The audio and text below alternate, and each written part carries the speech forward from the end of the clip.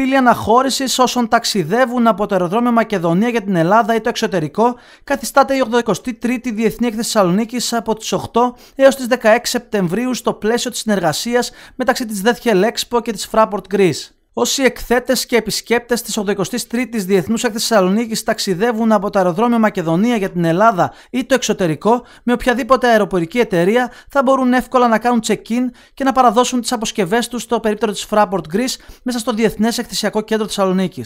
Οι αποσκευές θα παραλαμβάνονται κανονικά στο αεροδρόμιο προορισμού των επιβατών. Η Fraport Greece θα δημιουργήσει στο περίπτερό της τον μηχανισμό check-in και παράδοσης αποσκευών προς διευκόλυνση των επιβατών της και εκθετών επισκεπτών της 83η Διεθνούς Έκθεσης Θεσσαλονίκης. Η νέα αυτή υπηρεσία, σύμφωνα με ανακοίνωση του εκθεσιακού φορέα, αναβαθμίζει σημαντικά το επίπεδο εξυπηρέτησης των εκθετών και επισκεπτών, καθώς μεταξύ άλλων εξοικονομούν πολύτιμο χρόνο και δεν ταλαιπωρούνται.